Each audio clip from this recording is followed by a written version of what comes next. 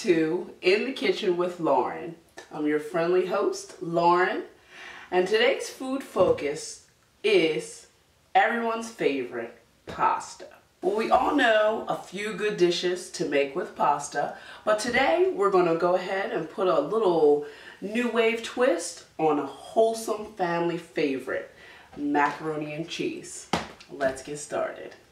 First, we have one box of cooked elbow macaroni, one whole stalk of broccoli cut and washed, one package of my favorite Philadelphia cream cheese, and a 16 ounce container of sour cream. And then we have four bags of Kraft shredded cheese, assorted flavors to give our macaroni and cheese a special flair. So, first what we want to do is pretty much melt all of our cheeses and our sour cream together in a pot. It's really simple and this macaroni and cheese, I love it so much because there's really no measuring. So you can't get this wrong if you're a first time cook. So let's try this.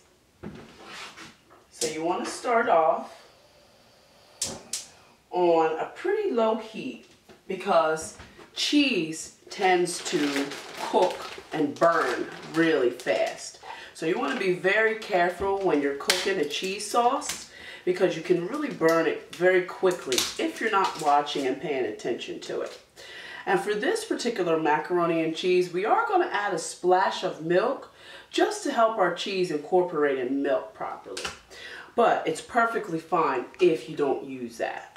You can certainly just go ahead and dump all this stuff into a pot, let it melt down to a smooth, creamy cheese, and pour it on, on top of your noodles, as well as mix in your broccoli, and you're good.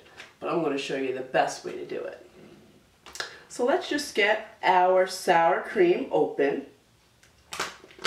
And we're going to start off with the entire package of sour cream.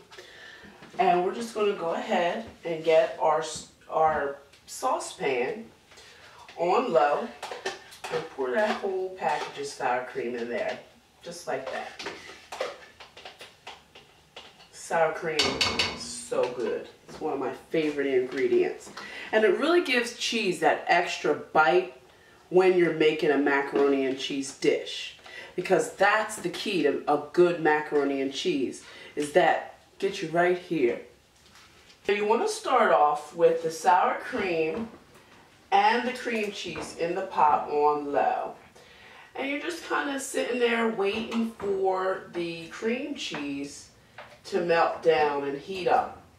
That sour cream and cream cheese will begin to thin out a bit as it gets warm. And when you add those other cheeses, it will begin to make a smooth and creamy sauce. So let's just go ahead and continue stirring this here to allow it to reach that consistency. As you see, the cream cheese is already beginning to break down with the subtle heat that's coming from being on low. You definitely don't want to melt your cheeses on anything higher than a low setting on your stove. So as those two ingredients begin to combine, you can start to add your cheese really slowly or one bag at a time. And then you also want to set aside some of the last bag of cheese to put on top of your macaroni. We're just gonna move this. Keep all of your ingredients moving in the pan while you're cooking your cheese or melting your cheese, excuse me. Because cheese is just one of those ingredients that once you burn it, you really have to start all over again. So you definitely don't want to waste your time or your money with a burnt cheese sauce. It's no saving a burnt cheese sauce ever. So it's really melting up very nicely. And as you can see, the consistency of the cheese sauce is still rather thick. So we really want to let that still melt down a little bit more before we add that third bag of cheese because we really want a nice creamy melt on the cheese before we begin to add any more.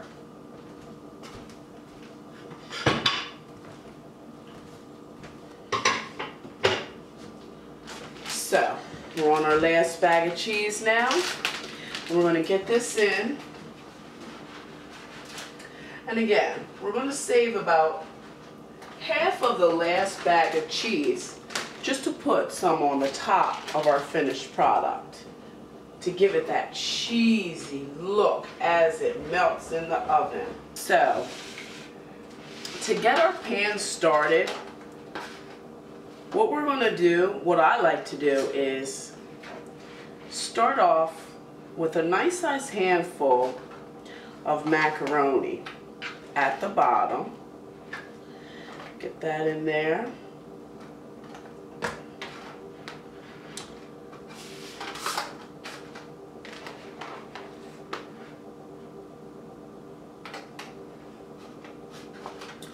Just cover the whole bottom of the pan with the macaroni. Add some of the broccoli. Again, a pretty nice layer. And you do want your broccoli kind of in chunks because that's the joy of adding the broccoli to it because it, it gives you a bite of just fresh vegetable along with your decadent cheesy macaroni and cheese.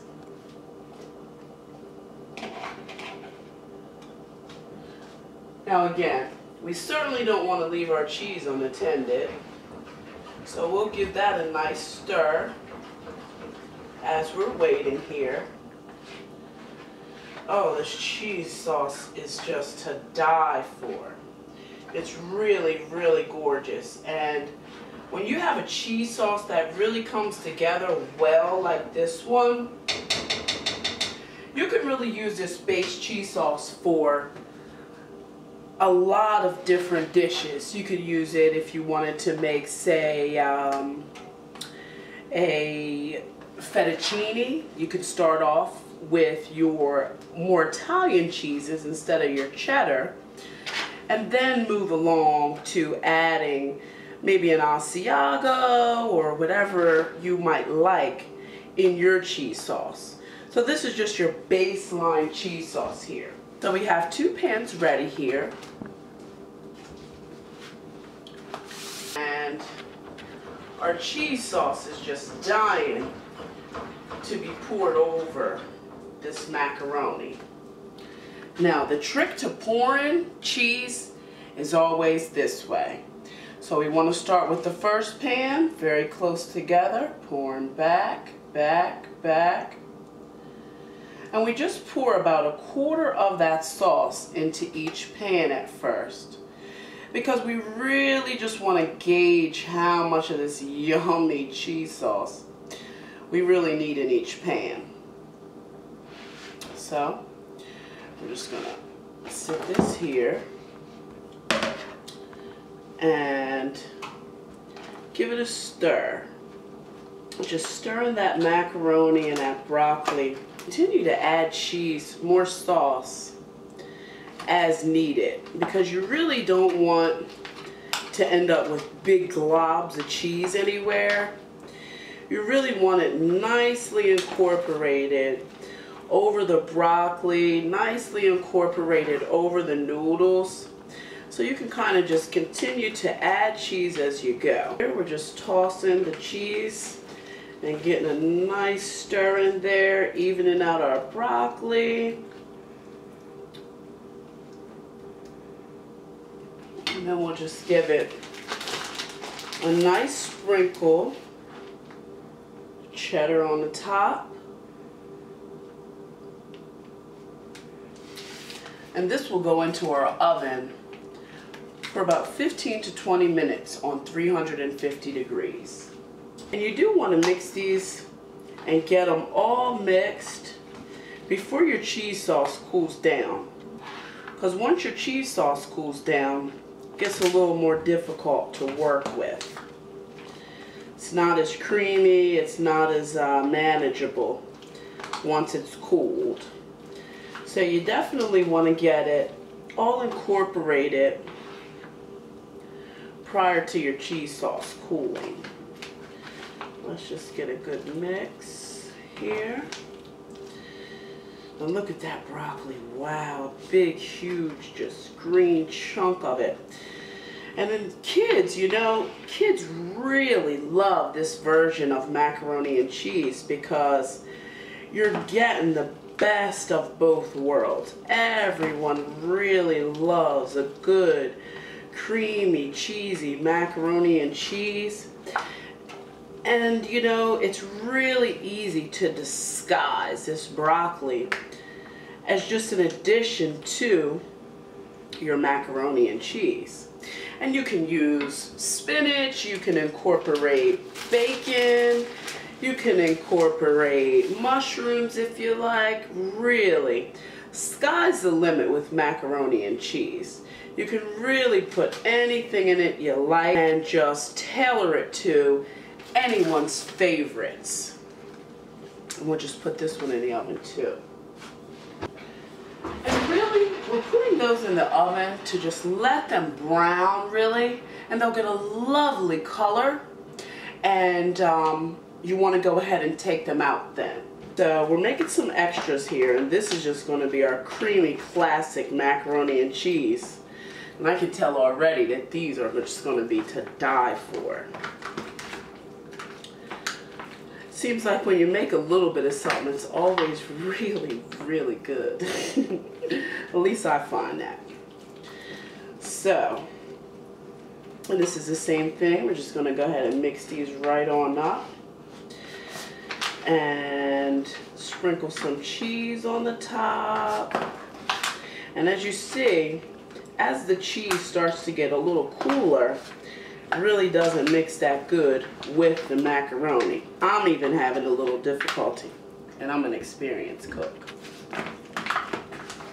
So, mix that up really good there.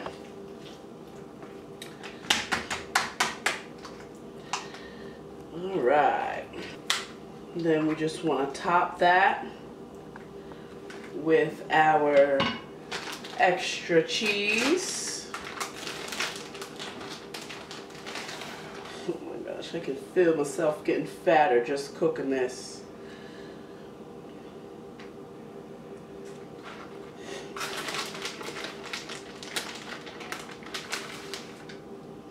These are going to be like really, really cheesy.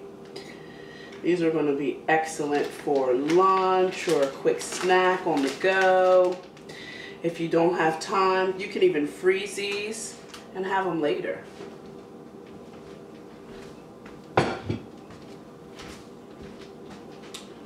So we're going to go ahead and pop these in the oven and really with our macaroni and cheese, it's kind of already done because the cheese sauce has been cooked, the macaroni has been cooked, so really we're just waiting for them to brown. So let's go ahead and pop these in the oven. Again, 350 degree oven for about 15-20 minutes until a golden brown.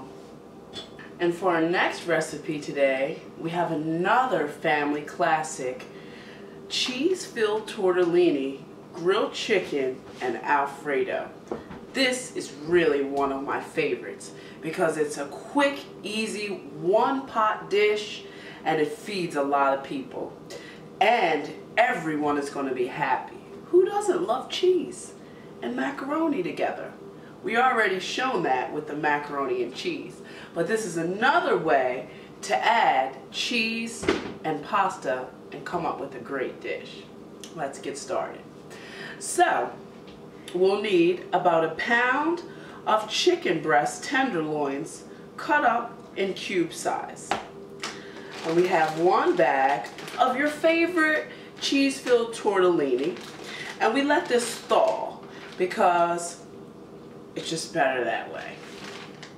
And then we have one jar of any of your favorite Alfredo sauce.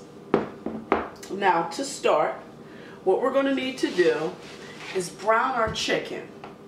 Now first, we're going to season our chicken lightly with some Italian seasonings in a grinder.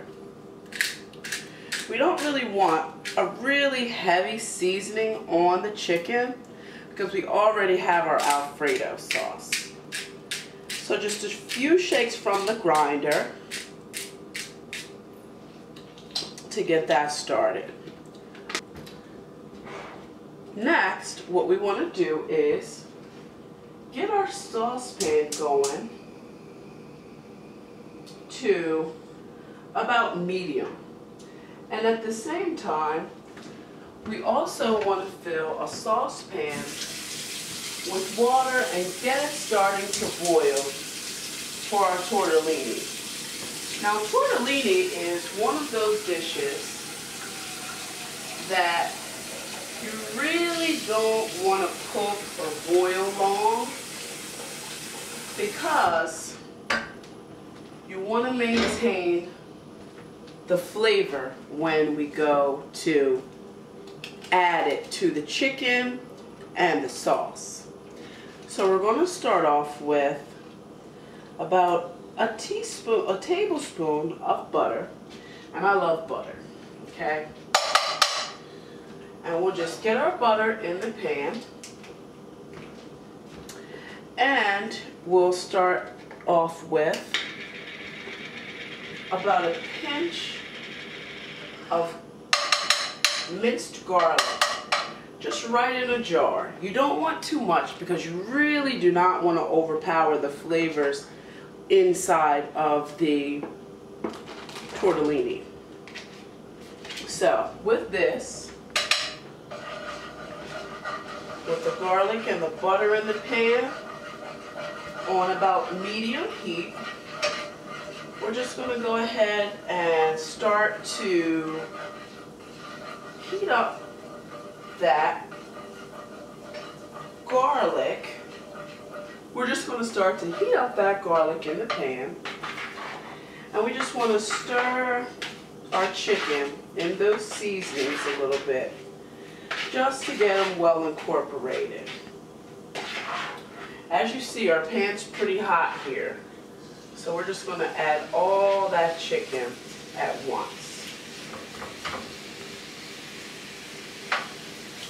We really just want to get an even layer of the chicken on the pan so that it can cook evenly.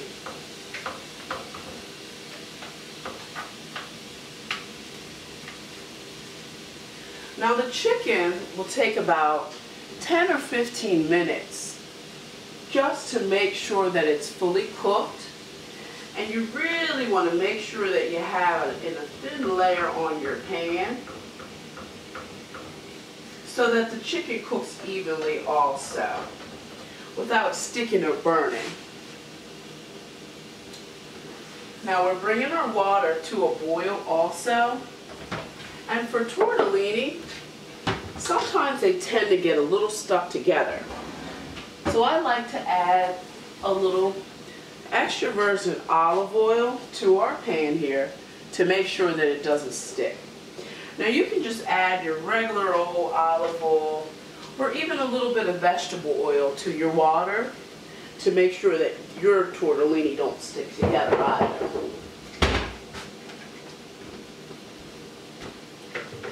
So we're just browning the chicken here.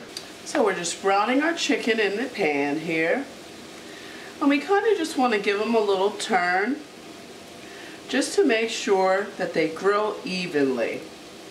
Because we really don't want our chicken to get a sear mark on it, which is those browning marks when it kind of gets the oil and the and everything going in it and we just don't want that for this particular dish. We just want a clear, crisp, white chicken breast nicely cooked and seasoned with our Italian seasonings and a little bit of butter. So we're just turning our chicken. The aroma from this chicken is phenomenal.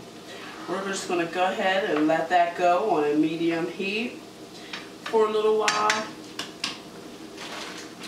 And we're going to add our tortellini to the water that's already come to a boil. And in that water is just a little bit of olive oil that we've got going here. Always keep a pair of kitchen shears around. They're just great to have.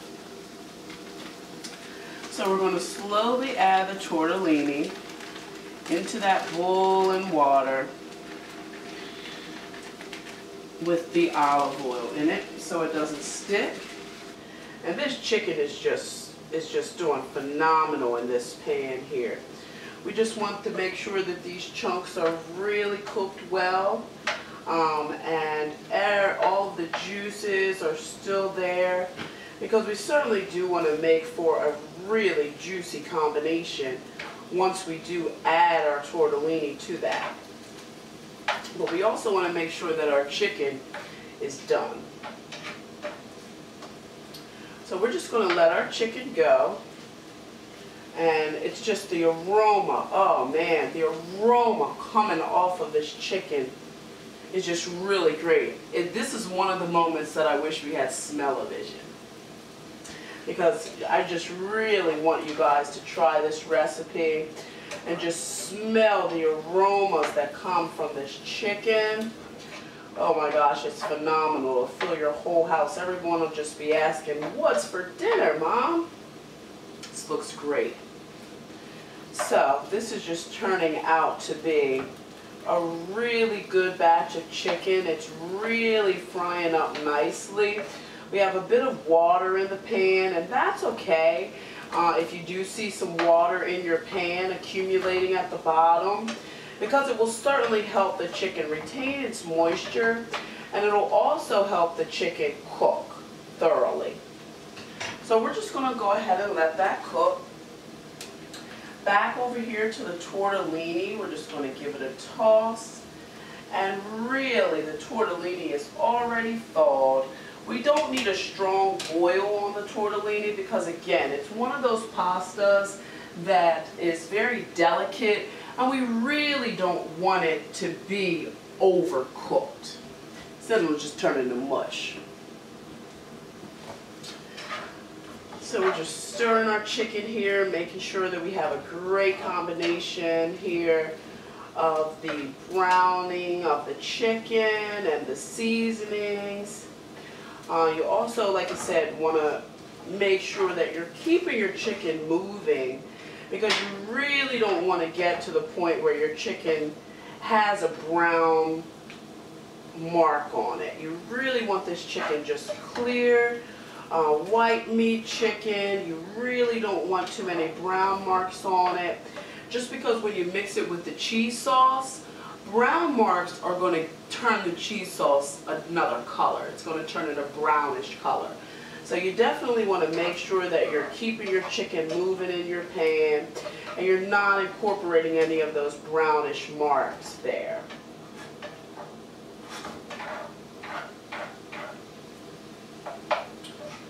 So let's just keep that moving here. Now the tortellini has started to boil and it's really just time to remove it from this here because they're really done. So just a few minutes in the pot for the tortellini. And we want to drain those.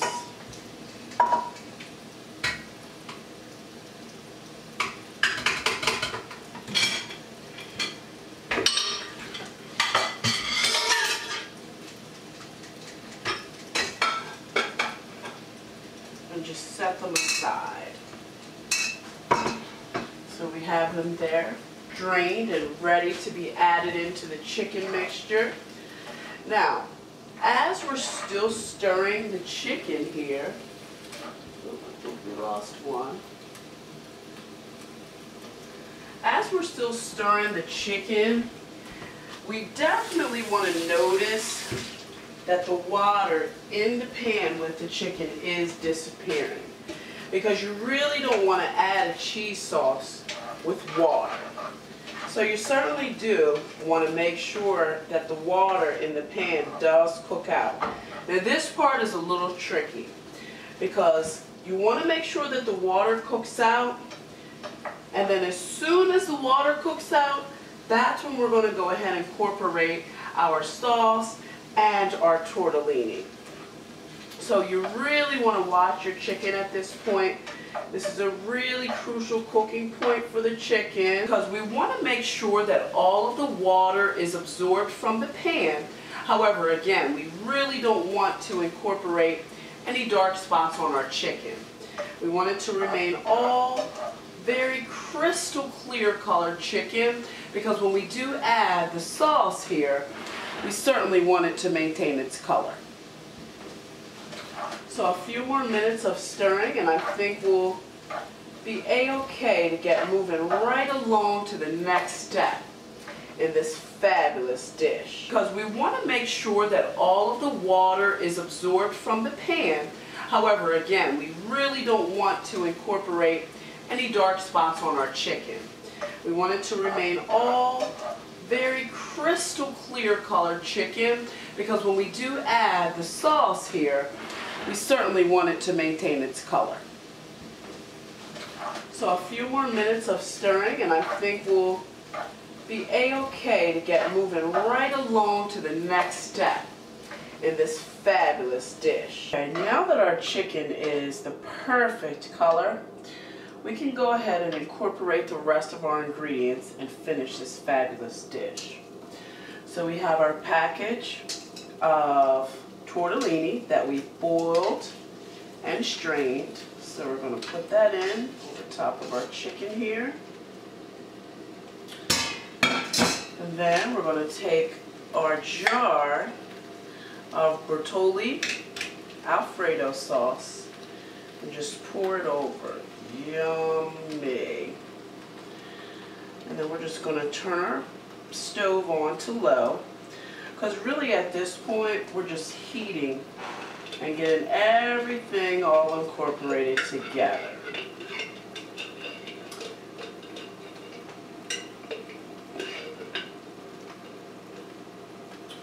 let's just stir all this in so you can get a look at this fabulous, fabulous mixture here. It's so just a crowd pleaser and it's such an easy one pot meal.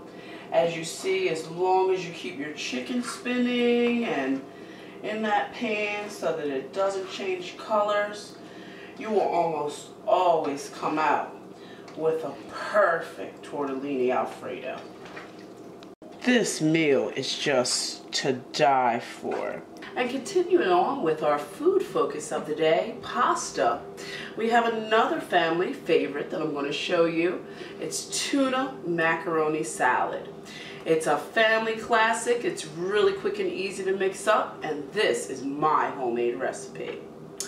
First, you're going to need four cans of any old chunk-like tuna in water, drained. This here is one box of elbow macaroni, boiled and drained. This is four boiled eggs, chopped. One red onion, chopped. One jar of sweet relish. We just need a little dash of my good old favorite Lawry seasoning salt here. And we'll need about a half of this jar of mayonnaise for this recipe. And just a few squirts of Gulden's spicy brown mustard. This does the trick. So let's get started. So first we're going to start with a big bowl here. We're going to take the macaroni and just incorporate it in this bowl here.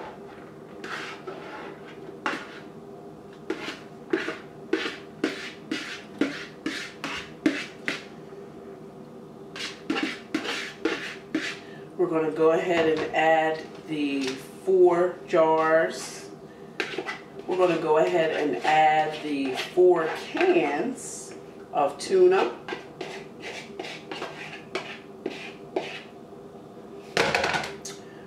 We're going to go ahead and add the four chopped eggs.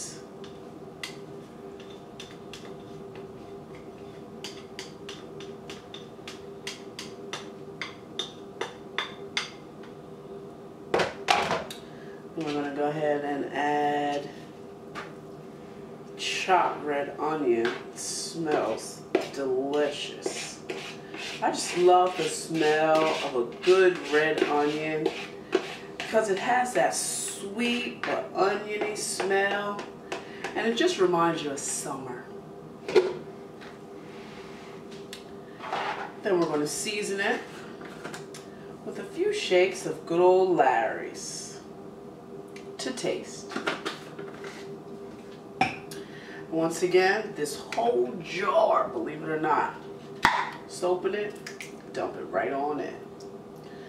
I love recipes when you don't really have to measure. It's so much easier. And like I said again, a few squirts of good old Gulden's spicy brown mustard.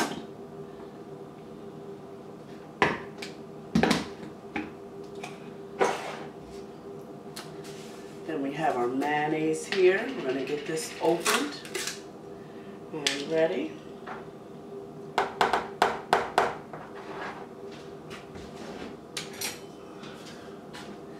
And again, we're going to just add about half of this jar of mayonnaise to this.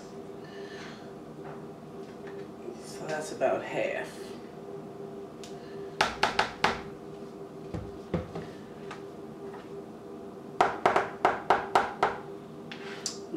Making samba beats here.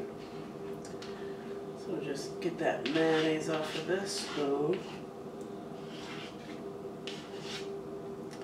And then we're just going to give this a stir. Now honestly, when I'm at home, I really don't use spoons to stir things.